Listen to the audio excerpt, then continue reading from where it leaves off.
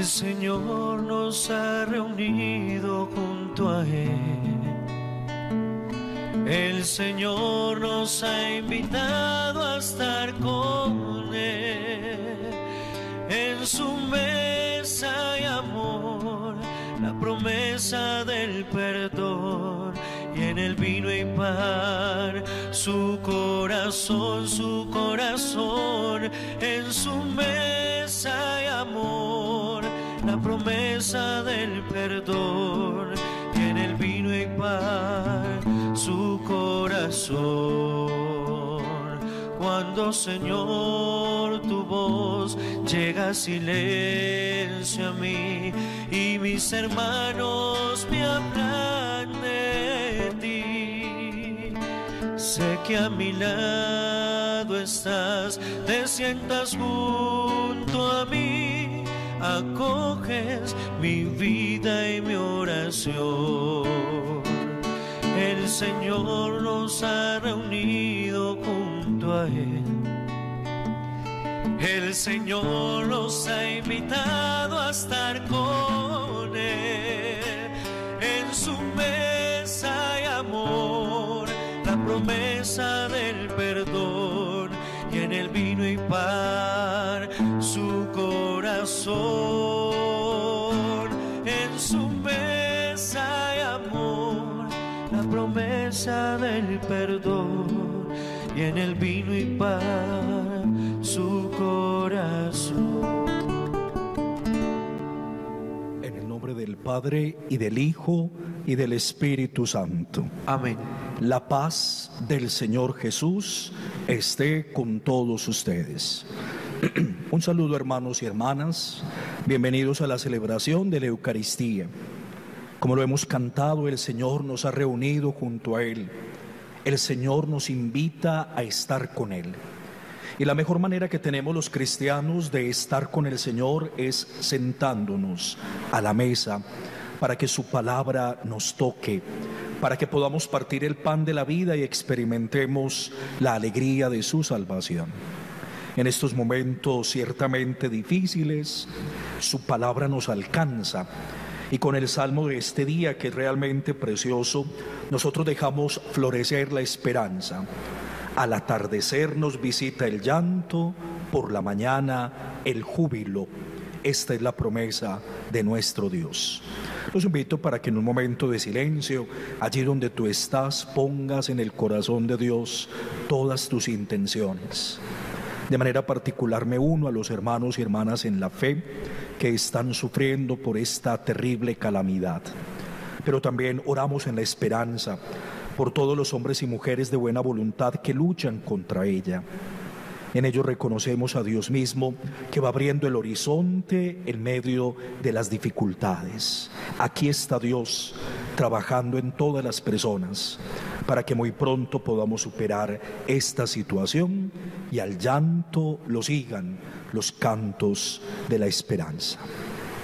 Iniciemos entonces la Eucaristía haciendo reconocimiento humilde de nuestra condición de pecadores y acogiendo en nosotros el amor infinito de Dios que siempre perdona. Señor, ten misericordia de nosotros. Porque hemos pecado contra ti. Muéstranos, Señor, tu misericordia. Y danos tu salvación. Dios Todopoderoso, tenga misericordia de nosotros. Perdone nuestros pecados y nos lleve a la vida eterna. Amén.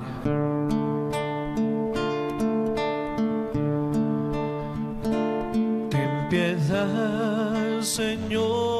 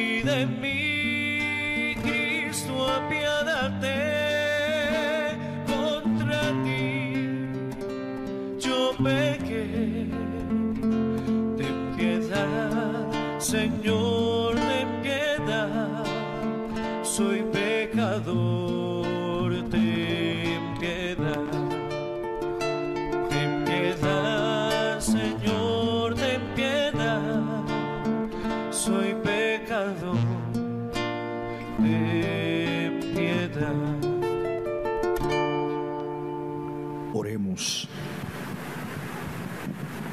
Oh Dios que renuevas el mundo con tus sacramentos, enciende en tu iglesia el amor a tu nombre y concédenos los auxilios del cielo para que no nos falten lo necesario en la tierra. Por nuestro Señor Jesucristo, tu Hijo, quien vive y reina contigo en la unidad del Espíritu Santo y es Dios por los siglos de los siglos.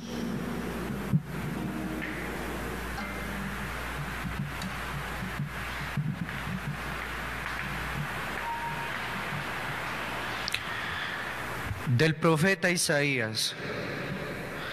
Así dice el Señor. Mirad, yo voy a crear un cielo nuevo y una tierra nueva. De lo pasado no habrá recuerdo, ni vendrá pensamiento, sino que habrá gozo y alegría perpetua por lo que voy a hacer y crear. Mirad, Voy a transformar a Jerusalén en alegría y su pueblo en gozo. Me alegraré de Jerusalén y me gozaré de mi pueblo. Y ya no se oirán en ella gemidos ni llantos. Ya no habrá allí niños malogrados, ni adultos que no colmen sus años, pues será joven el que muera a los cien años, y el que no los alcance se tendrá por maldito. Construirán casas y las habitarán, plantarán viñas y comerán sus frutos. Palabra de Dios, te alabamos Señor. Te ensalzaré Señor porque me has librado Te ensalzaré, Señor, porque me has librado y no has dejado que mis enemigos se rían de mí. Señor, sacaste mi vida del abismo, me hiciste revivir cuando bajaba a la fosa. Te ensalzaré, Señor, porque me has librado. Tañed para el Señor, fieles suyos, dad gracias a su nombre santo. Su cólera dura un instante, su bondad de por vida. Al atardecer nos visita el llanto, por la mañana el júbilo. Escucha, Señor, y ten piedad de mí. Señor, socórreme. Cambiaste mi luto en danzas. Señor, Dios mío, te daré gracias por siempre.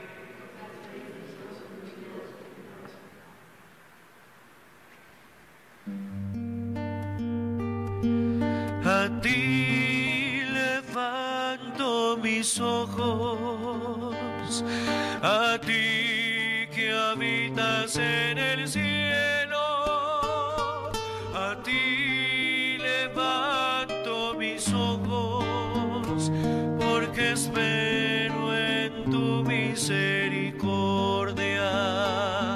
A ti levanto mis ojos a ti que habitas en el cielo,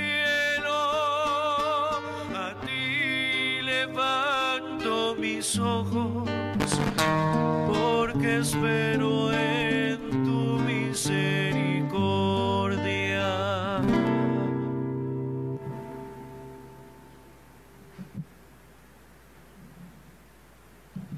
Hermanos y hermanas, el Señor esté con ustedes.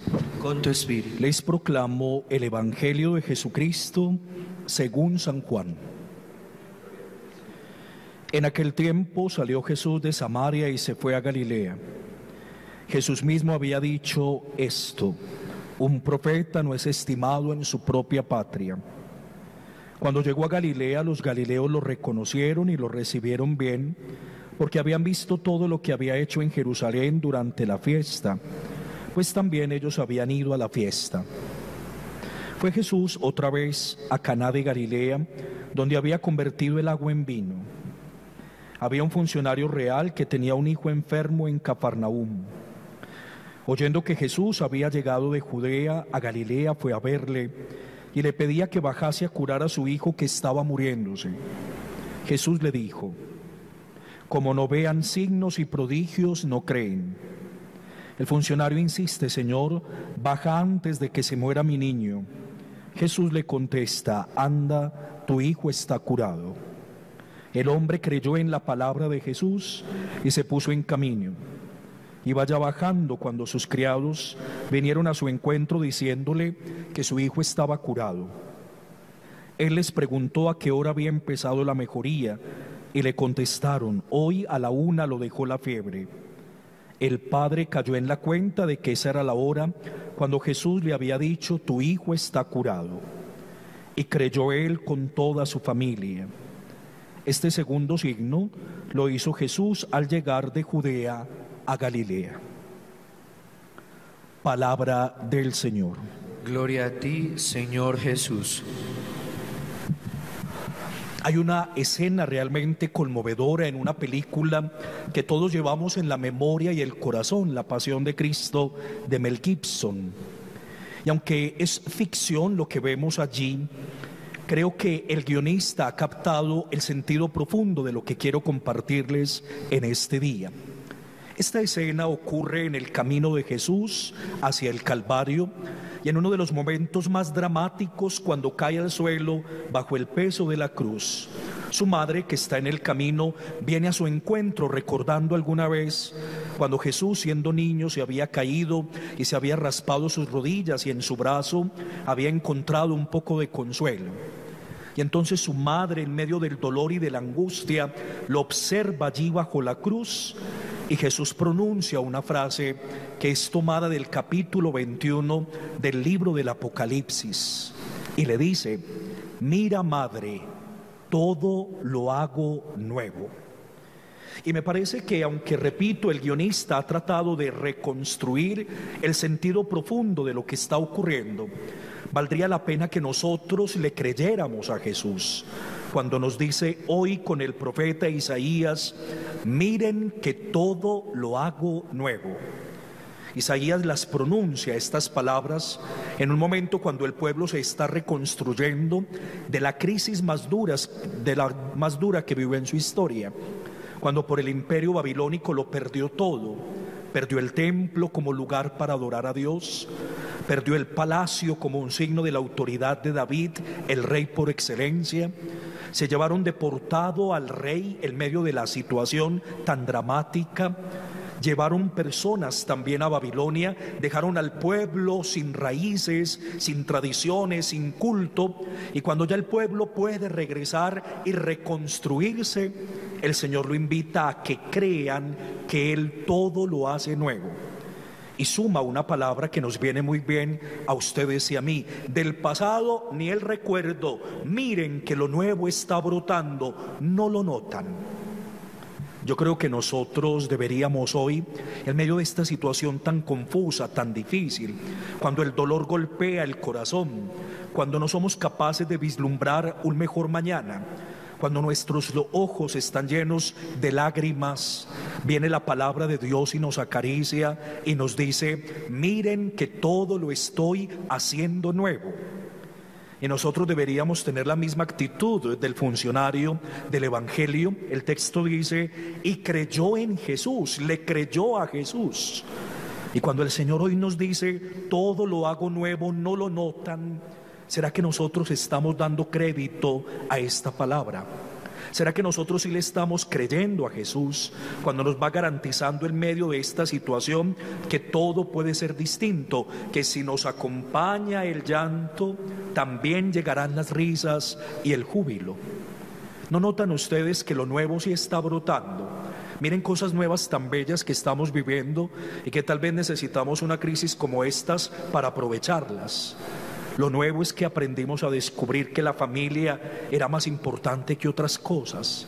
Lo bueno es que aprendimos a vivir del amor de los nuestros y no necesariamente de las diversiones de un centro comercial o de un estadio de fútbol. Lo nuevo es que pudimos descubrir que el dinero, aunque tengamos, no sirve para mucho, porque en este tiempo no podemos ni siquiera comprar lo que quisiéramos. Lo nuevo es poder descubrir que cosas como el carro y las fincas y los lujos no sirven para nada porque ahora hemos tenido que volver a lo esencial lo nuevo es que antes vivíamos distraídos, ocupados, en medio de cosas superficiales y banales, y ahora hemos tenido que recogernos en la intimidad del corazón para darnos cuenta qué es lo verdaderamente importante y valioso y que casi siempre, como dice el principito, es invisible a los ojos. Miren que lo nuevo está brotando, no lo notamos. Ojalá que esta palabra de verdad nos permita sacudirnos un poco, despertarnos porque a veces las crisis nos adormecen como si fueran un narcótico que nos droga. Necesitamos tener ojos abiertos, corazón palpitante, para poder reconocer que aquí está Dios trabajando, que aquí está Dios haciéndolo todo nuevo, que aquí está Dios reconstruyéndonos desde lo esencial, para que al llanto de la tarde lo siga el júbilo de la mañana para que el pasado quede atrás y lo nuevo se vislumbre en el horizonte del futuro, para que le creamos a Jesús y a sus promesas. El todo lo está haciendo nuevo. Ojalá lo notemos. Así sea.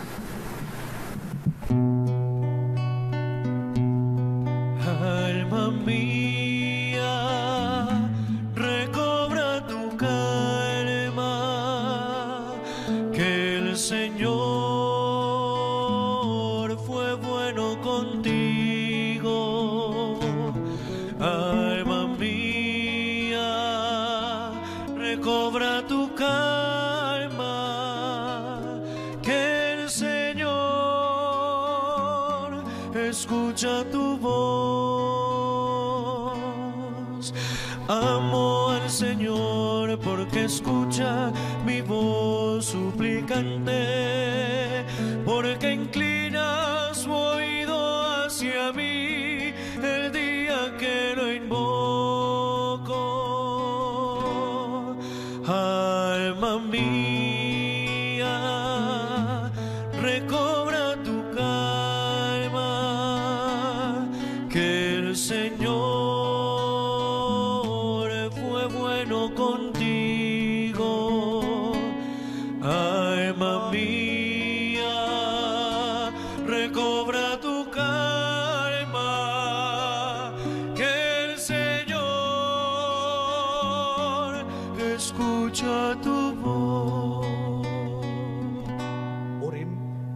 Le agrade a Dios Padre Todopoderoso. Acoge, Padre, la plegaria que te presentamos con amor y haz que esta ofrenda llegue a tu presencia y nos haga participar en tu vida divina. Por Jesucristo nuestro Señor. Amén. El Señor está con ustedes. Y con tu espíritu. Levantemos el corazón. Lo tenemos levantado hacia el Señor. Demos gracias al Señor nuestro Dios. Es justo y necesario. En verdad es justo y necesario darte gracias, Padre Santo, siempre y en todo lugar, Señor misericordioso y eterno porque con nuestras privaciones voluntarias nos enseñas a reconocer y agradecer tus dones, a dominar nuestro afán de suficiencia y a repartir nuestros bienes con los más necesitados, imitando tu generosidad. Por eso con los ángeles y santos cantamos tu gloria diciendo. Santo es el Señor, santo es el Señor, santo es el Señor, que la creación con gloria y amor regalas al hombre. Santo es el Señor, santo es el Señor, santo es el Señor, que la creación con gloria y amor regalas al hombre. Osana en el cielo, osana en la tierra, y que sea bendito quien viene en su nombre Osana en el cielo, Osana en la tierra, y que sea bendito quien viene en su nombre, viene en su nombre. tienen su nombre. Santo eres en verdad, Señor, fuente de toda santidad. Por eso te pedimos que santifiques por tu Espíritu estos dones que hemos separado para ti y los conviertas en el cuerpo y la sangre de tu Hijo muy amado. Él mismo la noche de su pasión tomó pan de la mesa y dando gracias te bendijo, lo partió y lo dio a sus discípulos diciendo, tomad y comed todos de él porque esto es mi cuerpo entregado por vosotros.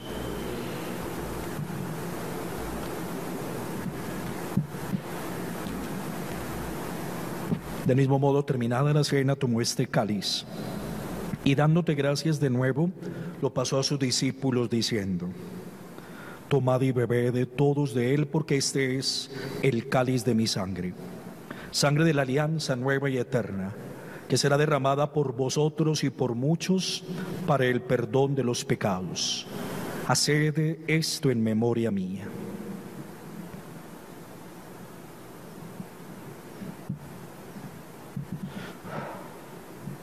En medio de nosotros está Jesucristo, Él es el sacramento de nuestra fe. Anunciamos su muerte, proclamamos su resurrección. Ven Señor Jesús. Así pues, Padre, al celebrar el memorial de la entrega de tu Hijo hasta la muerte y de su resurrección, te ofrecemos el pan de la vida y el cáliz de salvación y te damos gracias porque nos hace digno de servirte en tu presencia.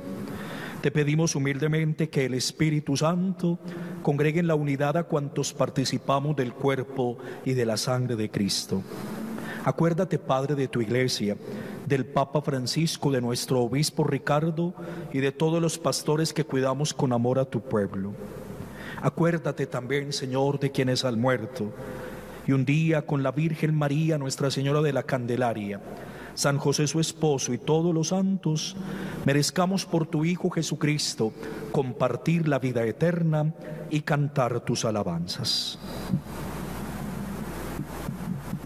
Por Cristo, con Él y en Él, a ti Dios Padre Omnipotente, en la unidad del Espíritu Santo, todo honor y toda gloria por los siglos de los siglos. Amén.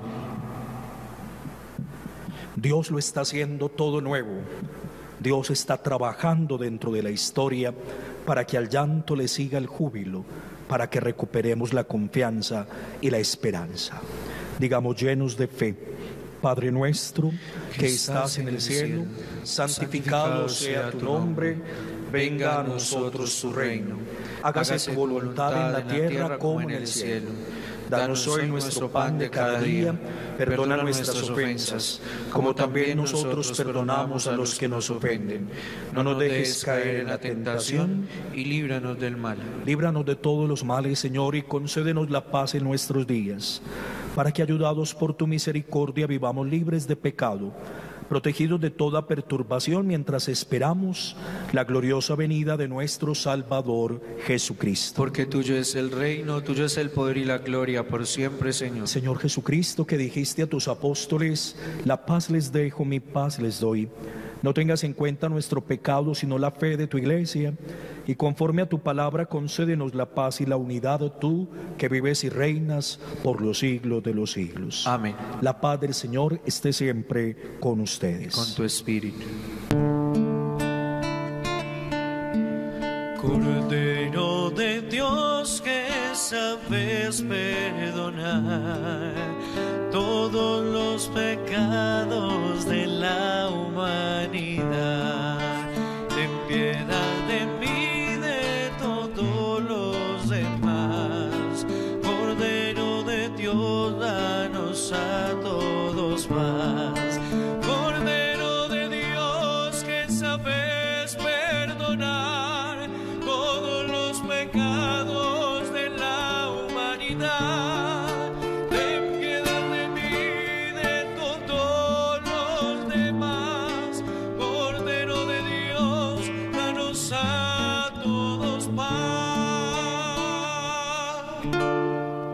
Medio de nosotros está Jesucristo. Él es el Cordero de Dios que quita el pecado del mundo. Dichosos los invitados a la cena del Señor.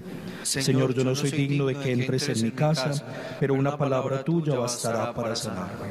En un silencio contemplativo, recibimos a Jesucristo el Señor por la fe en nuestro corazón.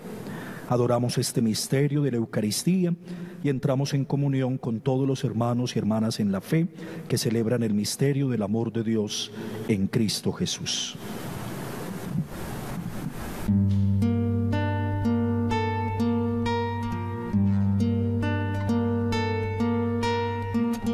Levanto mis ojos a los montes, de donde me vendrá el auxilio. El auxilio me viene de ti, que hiciste el cielo y la tierra. El Señor está a mi derecha el Señor me libra de todo mal. De día el sol no me hará daño, ni la luna de noche. De día el sol no me hará daño porque no permitirá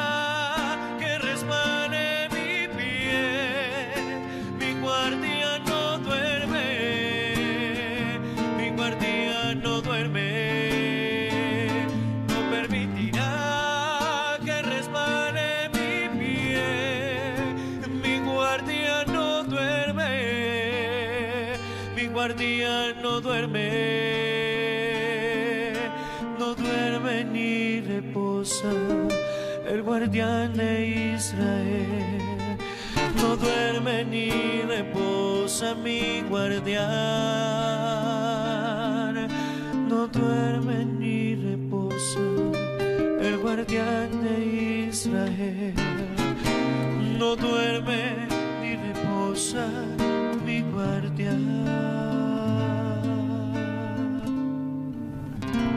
Oremos. Te pedimos, Señor, que estos santos misterios nos renueven y nos hagan vivir en santidad para que alcancemos por ellos los premios eternos. Por Jesucristo nuestro Señor. Quédate con esta palabra para estos días. Miren que todo lo hago nuevo, del pasado ni el recuerdo. El Señor esté con ustedes. Y con tu espíritu. Y la bendición de Dios misericordioso, Padre, Hijo y Espíritu Santo, descienda sobre ustedes y sus familias y los acompañe siempre. Amén. Que la alegría del Señor sea nuestra fortaleza, pueden permanecer en paz. Demos gracias a Dios.